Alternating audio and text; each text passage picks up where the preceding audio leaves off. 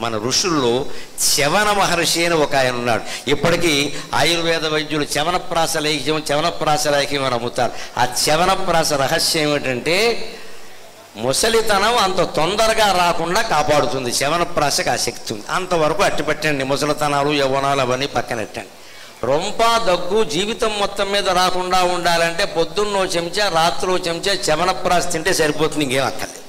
రొంప దగ్గు జీవితం మొత్తం రావు. ఒక నియమంగా తినాలి. ప్రయాణంలో కూడా కూడా పెట్టుకోవాలి అవసరమైతే ఒకరోజు రెండు రోజులు మానేస్తే పర్వాలి. కానీ పూర్తిగా మానేయకుండా పొద్దున్న ఒక చెంచా అర చెంచా సాయంత్రం ఒక అర చెంచా ఊరికే ఇలా నాకేయడమే. శుభ్రంగా ఉంటుంది అందులో ఉసిరికాయలు అల్లాలు చాలా ఉన్నాయి. ఆయుర్వేదం మొత్తం అంతా ఉంది అందులో. అది కనుక పొద్దున్న సాయంత్రం సేవిస్తే స్త్రీలకి కానీ పురుషులకు కానీ రొంప దగ్గు లాంటివి రానే రావండి. ఒకవేళ పొరపాటుని వచ్చిన నిమిషంలో పోతాయి.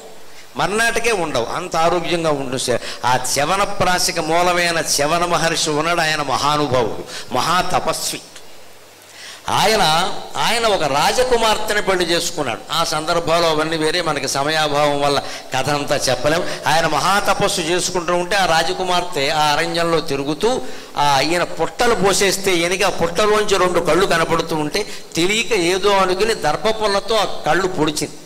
ఆయన కళ్ళు పోయాయి.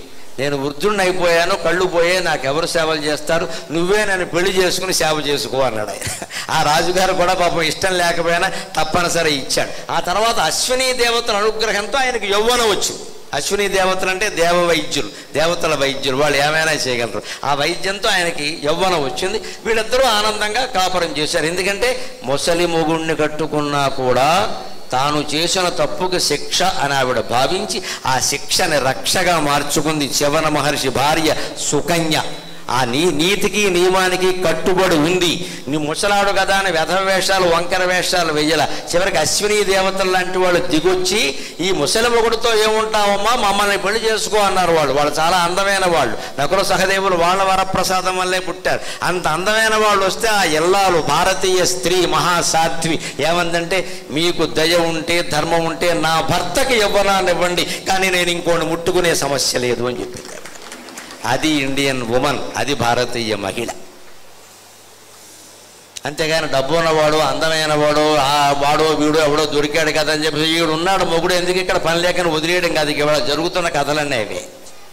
శుభ్రంగా పెళ్ళి చేసుకోవడం పిల్లల కన్నా ఎవడైనా ఇంకా అందమైన వాడో డబ్బు ఉన్నవాడో కనపడగానే ఇక్కడ టాటా. ఆడ అంతే మొగ అంతే. కానీ సుకన్య యొక్క గొప్ప పాతివృత్యం ఎక్కడుందంటే అశ్విని దేవతలు స్వయంగా దిగొచ్చి మేము మీకు యవ్వనం ఇస్తాం.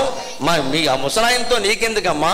మేము యవ్వనంలో ఉన్నాం కదా మా ఇద్దరిలో ఒకరిని పెళ్ళి చేసుకుంటే ఆవిడంది మీకేమన్నా ధర్మం ఉంటే జాలి ఉంటే మా ఆయనకి యవ్వనం ఇవ్వండి.